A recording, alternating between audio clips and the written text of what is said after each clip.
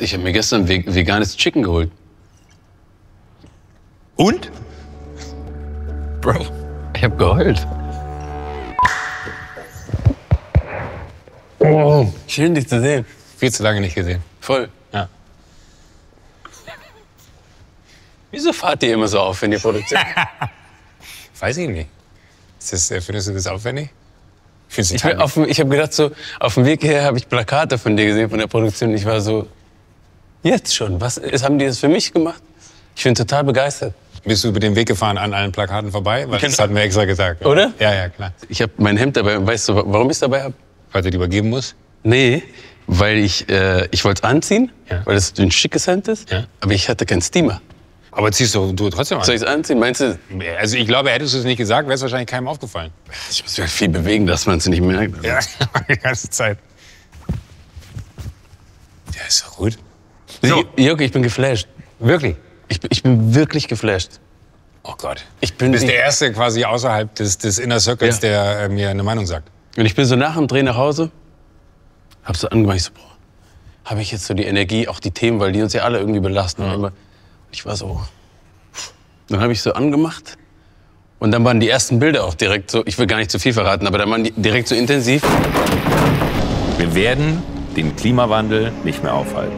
Und wenn ich all diese Bilder sehe, fühle ich mich unfassbar überfordert. Ich bin hilflos, ich bin machtlos. Und ich war so, hey, hier, hier, jetzt gehe ich dann mit den Oh Bildern Gott. schlafen. Und dann war so, immer in dem Moment, als ich einen Gedanken hatte, habt ihr das angesprochen. Ah, krass. Immer im, in dem Moment, wo ich dachte, ah, und dann war es so, wie als, hätte, wie als hättest du meine Gedanken gelesen. Es hat mich voll, es hat mich mitgenommen auf eine Reise und vor, vor allen Dingen hat es mir Hoffnung gemacht. So. Also das finde ich auch schön, wenn das wirklich so ist. Ja, hat man also es, es, es, Ja. es wird auch noch äh, intensiver nach hinten raus, weil es natürlich auch so eine krasse Reise für einen selber ist, dass du äh, eigentlich ja von dem Gedanken, wo du dir denkst, lass doch mal loslegen und mal gucken, wo das hinführt. Äh, und dann bist du auf einmal vor Ort und jetzt stehen wir am Ende des Tages hier und äh, irgendwie ist, ist es so, so das ist jetzt so fertig, so dies, dieser Loslassen-Prozess, Ja, ja. wo man denkt so, nee, weil wir müssten doch eigentlich noch zwei Folgen machen zu dem und zu dem Thema oder wir müssten doch eigentlich noch mal drüber nachdenken, ob man das nicht noch mal anders erzählt, weil wir hatten ja noch den Ansatz von, weil das Krasse fand ich immer, das hat mich so ultra belastet, äh, du, das ist ja nicht kein Film, den du aufschreibst äh, und dann hast du einen Anfang, Mittel und ein Ende. Sondern du reagierst auf all das, was Ja, dann passiert. ja. Das hat man auch gespürt und das war das Geile so. Da sagt jemand, ich, wie viel darf ich eigentlich verraten? Sag's. Da sagt jemand was und bumm, reagiert ihr auf das, was gesagt wird in dem Moment und geht dahin. Ja, und, und, und, Und das, holt euch dann die Information. Äh, Aber, das war, glaube ich, auch die große Herausforderung, vor der wir dann immer so standen, weil du eine Tür aufgemacht hast und es gehen tausend neue Türen auf. Du stehst in einem Raum, da sind tausend neue Türen. Und egal für welche Tür du dich entscheidest, da gehen wieder tausend Türen dahinter auf. Und dann stellst du aber so fest, dass dieses Thema auch eine solche Komplexität hat, dass man das also die, die Annahme war ja eigentlich zu sagen, hey, lass mal losziehen, äh, wir, wir erzählen es positiv, wir versuchen das Ding mal zu drehen und nicht irgendwie immer nur die Probleme zu sehen. Ja, das habt ihr aber das habt ihr geschafft. Und vor Ah, allem das freut auch so, voll, danke. Ja, voll kunstvoll. Ich war so, damn it, das ist so, das ist so gut. Das ist wirklich, Ach, das Digga. wirklich ich meine das wirklich ernst. Vor allen Dingen, guck mal, gerade bei dem Thema, ne, man schiebt es immer ein bisschen weg. Man weiß aber, fuck, Alter, ich kann niemandem die Schuld geben. Ich muss selber gucken, weil es ist unser Planet. Ich, ich muss was machen. So, niemals in dem Konflikt. Und die Zerrissenheit hast du gelebt für uns, ne? Das, du, dieses und auch ich habe dann noch mal eine andere Folge gesehen, ähm, wo, wo, wo ihr am Tisch saßt. Ja. Und ich fand das so schön ehrlich. So genau, so sind die Abende. Alter, genau so sind solche Abende. Wenn man Genau, das sind genau sitzt, die ne? Abende. Cheers. Chin Chin. Voll, voll schön, dass ihr da seid. Chin Chin. Gucken wir mal, wo der Abend hinführt. Ne? Weil man natürlich auch, und, und, das ist ja, ich, ich habe ja keine weiße Weste. Also weißt du, ich komme ja nicht dahin und sage, Leute, ich bin äh, Wissenschaftler, ich bin Aktivist und ich bin auch noch Journalist und jetzt sage ich euch mal. Sondern ich wollte ja wirklich verstehen, woran liegt's eigentlich? Warum funktioniert's nicht? Was, ist, was sind die Themenblöcke so? Und dann sitzt du aber in so einer Runde und denkst dir so, okay, ihr seid die Pros, go. Und dann merkst du so, Meinung A, Meinung B, Meinung C, Meinung D, kein Konsens. Und ich so, wie kriegen wir das hin, dass, dass, dass wir hier einen Konsens herstellen? Weil es muss doch möglich sein. Es geht doch um was viel zu Großes, als dass wir das irgendwie die ganze Zeit immer nur ähm, mit dem aufeinander Finger zeigen. So.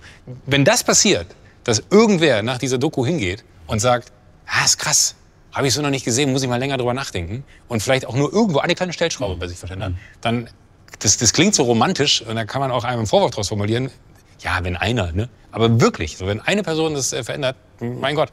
Hier, das finde ich super.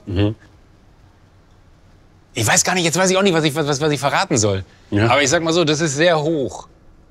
Mehr möchte ich nicht sagen. Okay. Ich möchte nur ganz kurz darauf hinweisen, dass ich Höhenangst habe. Nee, will ich nicht. Nee, das ist, ich habe jetzt gesehen, das reicht mir. Jetzt zu spät. Und wo ist das? Äh, Nordsee. Auch super spannende Story. Äh, ein Dong hieß der Konzern vorher. Jetzt heißt der Orsted. Dong, ich finde den Namen so geil, du wirst auch deine Freude haben. Danish Oil and Natural Gas. Okay. Dong. Das ist mal ein geiler Name für die Firma, so ein Dong. Dong, äh, und heißt jetzt Orsted und hat sich komplett von äh, ähm, äh, quasi äh, fossilen Brennstoffen zu einem ökologischen Energiekonzern entwickelt. Die machen nur Windkraft und das ist, damit verdienen die Milliarden. Und uns erzählen sie immer, es geht nicht. Ja, aber, aber du nicht, war nicht Kopen, Kopenhagen? Kopenhagen. Ich war so, Ey, das kann doch nicht sein, dass da oben, dass da bessere Luft komm, rauskommt. wir gehen nach Kopenhagen. Ey, is a perfect example of a sustainable technology. The steam that you see coming out of the chimney is cleaner than the air of Copenhagen. Really? Bjarke Ingels, unfassbarer Typ. Äh, auch mein, mein äh, tatsächlich Approach meinerseits über Instagram. Ich habe den über Insta angeschrieben, ob der Bock auf das Thema hat. mega. Das, auch, ja, ja. Schade. Gibt's noch eins davon wahrscheinlich. Ey, vor allem auch sehr gute Geschichte, sehr gute Geschichte dazu. Manta Bike, ne, könnt ihr euch angucken. Der Typ, das ist äh, San Diego. Du kannst quasi hier die Bay entlang raus, äh, vorne am Wasser entlang und dann wieder quasi in den nächsten Ort mit, mit diesem Ding da fahren. Das sind ungefähr, weiß ich nicht, 45 Minuten Weg mit diesem Ding übers Wasser. Und der kam halt über den Wasserweg damit an. Ich setze mich drauf. Well, Oh no, I broke it! Oh no! Shit! That's not real! Oh fuck! Das ist ja nicht wahr! Wie hast du das geschafft? Warst du zu nah am, am, am Ja, Sand? so nah am Ufer. Und es ist so unfassbar schwer. Ne? Es hat mich wahnsinnig gemacht. Ich habe es einfach, äh, wie so häufig in meinem Leben. Und es, war, es gibt kein anderes, oder? Oder haben die noch andere? nee, er hat dann irgendwie noch mal ein anderes Schwert besorgt, äh, dass es noch mal funktioniert für die Bilder, weil wir hatten ja auch noch keine Bilder von mir auf dem Ding. Und wie du siehst, äh, also es ist eine Momentaufnahme, die mir nicht gerecht wird. Das ist eigentlich nicht fair, dass es dieses Bild gibt. Aber es ist halt verrückt. Aber das ist einfach so, bei sowas finde ich dann irgendwie geil. Das wird wahrscheinlich, machen wir uns nichts vor. Wir werden nicht in drei Jahren alle mit so einem Ding auf dem Wasser unterwegs sein. Aber einfach nur, dass da jemand ist, der sich Gedanken darum macht, wie kann man sich dann anders fortbewegen, Ja, ja. fanden wir faszinierend. Was ist mit, wie, wie war das Gefühl hier drin? Das habe ich mich die ganze Zeit. Aber warum? Weil das, weil das so ein Tempo hatte, oder? Irre. Ja? Ja. Irre. Also das, das ist äh, natürlich total krass, einfach nur auf Aerodynamik abgestimmtes Ding und äh, versorgt sich über die Solarzellen selber und lädt die Batterien auf. surrounded by a super aerodynamic shell that makes this the most energy efficient vehicle platform ever. Ich war die Zukunft! Also einfach dann hier nur im Sommer dann. Hier nur im Sommer, da, da, und, da, äh, da im ganzen Jahr. Oder ich weiß, weiß nicht, wie intensiv das Licht sein muss äh, für, für, für die Region hier. Man kennt es ja von, von Tesla oder von, von den Elektroautos. Aber ist es das Level? Ja. Oder noch krasser? Nee, das ist äh, genauso Das ist Level. Das ist wirklich, als wenn du so einen Stein, eine Steinschleuder machst und loslässt. Das ist irre. Und das, war so, weil das hat so richtig, das sieht so future-mäßig aus. Ja, ja, voll. Abgefahren. Loredana war ja auch da, ne? Und ähm, ich kannte sie davon und ich kannte ihre Musik. Einer meiner und ich habe sie da, ich, ich fand das diese Kombi so großartig, dass auch ne, Luise Neubau und Loredana geg so gegenüber voneinander saßen.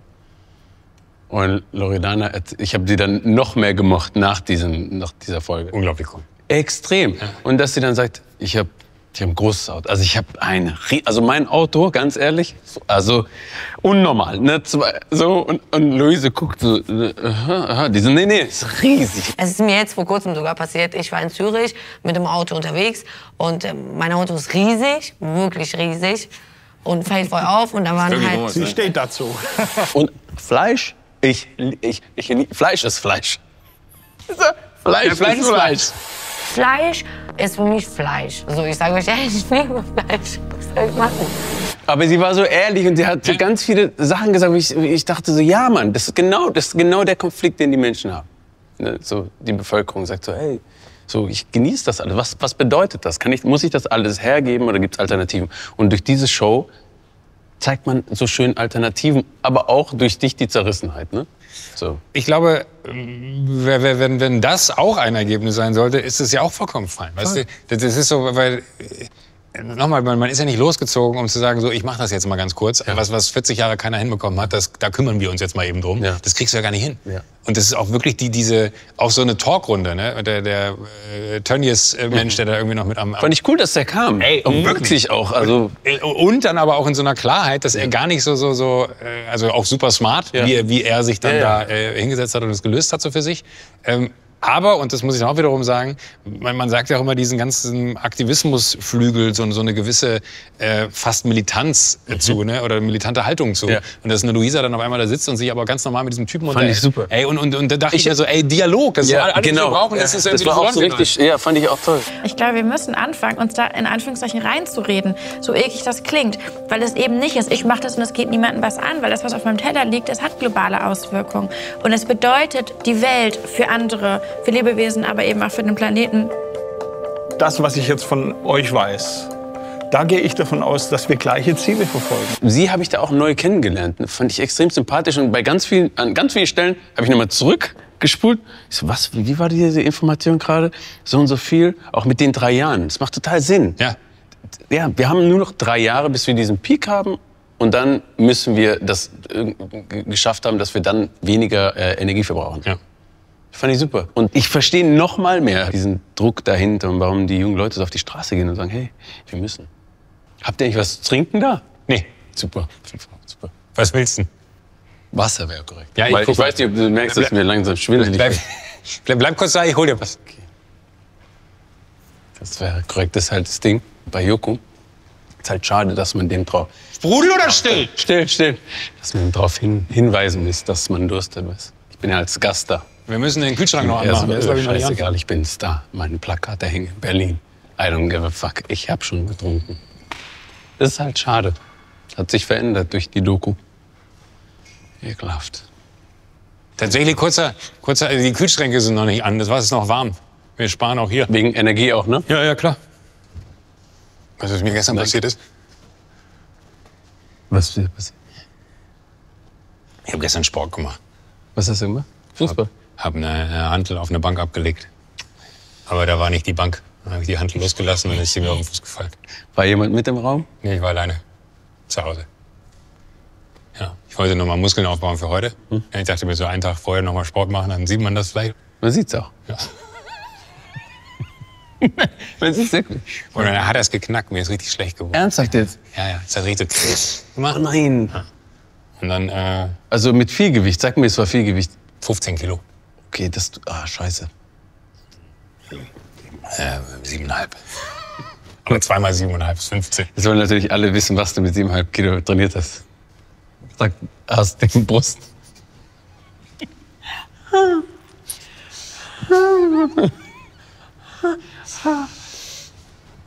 Genau so habe ich es gemacht. Ich habe es einfach fallen lassen. Ich kann nicht mehr.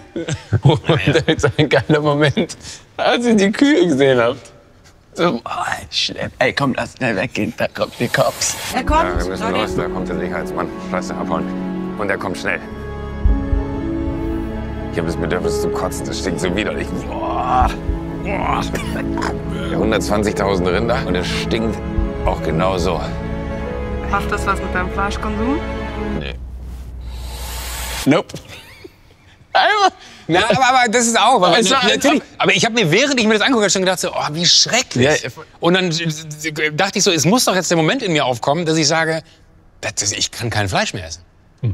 Und dieser Moment kam aber nicht. Und dann, da- dann hat irgendeiner aus dem Team auch noch die Frage gestellt, so, na, herzlichen Dank. Ne? Das kann ich auch noch beantworten im Ohren, die Arschläger. Äh, aber äh, nein, aber das, ist ja das Bizarre. So, Nein, dass du das, du, du siehst ja, also blöd gesagt, ich glaube, hätte man mir dann ein Stück Fleisch hingelegt, hätte ich es wahrscheinlich nicht essen können. Klar. Aber mit der Distanz, dass der Ort halt weg ist ne? und wir dann irgendwo woanders wieder sind äh, und, und du natürlich dann auf der Karte siehst, hm, Entrecot, ja geil. Das, das ist, äh, äh, und, und das ist, glaube ich, auch so das, das große Thema, dass, dass jeder Jahr Klar. So funktioniert. Klar. Und, und, Das war so schön und, ehrlich. Und trotzdem aber zu versuchen, wie kriegst du denn hin? Also ich habe natürlich versucht, meinen Fleischkonsum zu reduzieren, Mhm. aufgrund dessen, weil ich auch gelernt habe, was für ein Major Part des globalen CO2-Fußabdrucks Landwirtschaft ausmacht. Aber äh, doof gesagt, freue ich mich auf das Stück äh, Fleisch, wenn ich jetzt im Sommer grille. Mehr, als wenn ich wahrscheinlich viermal die Woche vorher schon Fleisch gegessen habe. Weil ich mir denke, so, oh, schon wieder Fleisch. Naja, wegen des grill ich's diesmal. Ja, ja, ja, ja. Ich habe mir gestern ve- veganes Chicken geholt. Und? Bro. Ich habe geheult. War ekelhaft. Nee, es war, war, war super. Ich hab geheult. Ja, war, es war super. Ich mag, dass du nie so übertreibst.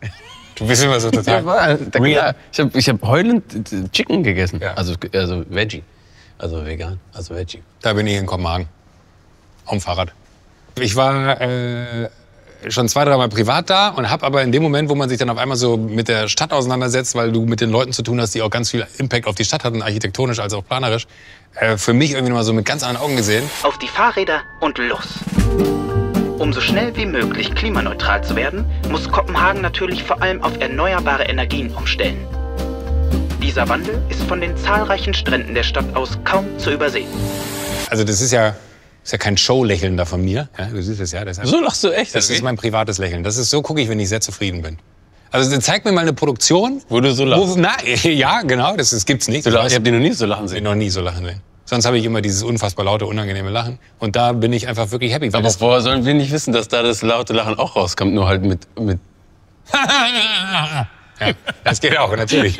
irgendwie unterbrochen. Aber äh, das Geile war, dass wir halt äh, diese ganze Produktion in Kopenhagen mit Lastenfahrrädern und so auch gemacht haben. Cool. Weil das da geht. Und das ist so Das verrückt. ist halt ausgecheckt alles, ne? Ja, voll ausgecheckt. Und, und das Verrückte ist halt, das hat so Bock gemacht. Und auf einmal hast du so selber für dich wieder Fahrradfahren entdeckt und kommst nach Hause und stellst dann mal fest, warum macht's bei uns keinen Bock? Weil alle sich jetzt auch gerade ja da Riesenthematik, mehr Fahrradwege, bla und äh, autofreie Städte und so. Und alle sagen, oh nee, auf gar keinen Fall, weil äh, wie komme ich denn mit meinem Auto? Und ich denke so, ey Leute, fahrt doch einfach mal dahin, wenn ihr könnt. Guckt euch das mal an und nehmt euch mal ein Fahrrad. Es hat so Bock gemacht. Mich würde mal interessieren, was, wir, was, was man machen müsste, um so eine Stadt wie ähm, Berlin oder keine Ahnung, oder auch, auch Köln oder so, auf, die, auf, auf das Level zu bringen. Ey, das würde wahrscheinlich noch mal 40 Jahre dauern. Ne? 40. Oder vielleicht, wenn du es mit Vollgas betreibst, auch in, in, in 15, 20. Aber das, das, das, was ich ich finde es so verrückt. Die haben das in den 80ern zufällig äh, gemacht, weil sie kein Geld für Straßen hatten und sind jetzt halt the hottest shit on earth. Und haben aber halt 40 Jahre dafür gebraucht. Und ich finde das Und ist so- haben Style dabei. Das und ja- haben unfassbaren Style Ja, ja, dabei. ja. Auch architektonisch. Hier Bjarke, der irgendwie jedes dritte krasse Gebäude in dieser Stadt mit äh, irgendwie angefasst hat, wo man einfach dann feststellt, äh, wie wichtig es auch ist, Mhm. dass du als Stadt zulässt, dass da jemand eine Vision zulässt für, für ganze für ganze Regionen innerhalb äh, der, der City und der Typ einfach auch mit einem Wahnsinnsblick da, da irgendwie die Stadt zum Positiven verändert hat. Voll gut. Darf ich mir was wünschen? Bitte. Also ich freue mich jetzt noch auf alle anderen Folgen. Aber ich würde mir wünschen, dass es davon eine zweite Staffel gibt. Und dass man im Gespräch bleibt. Und dass du das weitermachst. So, und eben kein Spezialist. So, ne? Du kennst dich aus, aber du hast jetzt, du bist, ne, das wäre. Also ich kann, ich, ich kann dir nicht versprechen, dass es eine zweite Staffel gibt, weil das wirklich Ach Joko, hör doch auf. Ne? der härteste Ritt meines meine im Hintergrund auch gerade alle so, äh, weil das wirklich der härteste Ritt war. Und äh, oder lass doch mal so sagen, lass doch mal gucken, was so passiert jetzt. Und dann bleiben wir in Kontakt. Ja, ich will's nur gucken. Gut. Bei mir macht's Hoffnung. Mach du's. Ich, dann, dann treffen wir uns hier und äh, ich frag dich dazu, wie es war. Ja, guck. Okay. Gut. Gut. Ja. Gut. Sprechen wir nochmal drüber. Sprechen wir drüber. Mein Ton hat sich gerade hier verabschiedet. Ich glaube, das ist ein Zeichen dafür, Ja. dass mein Körper nicht mehr will. Dann will ich's einfach. Wo sage ich mal da, alle, alle Kameras einmal? Danke, dass du dir die Zeit genommen hast. Danke. Und danke für die lieben Worte, ernsthaft. Ja, äh, danke für die Doku. Cheers. Cheers. Cheers.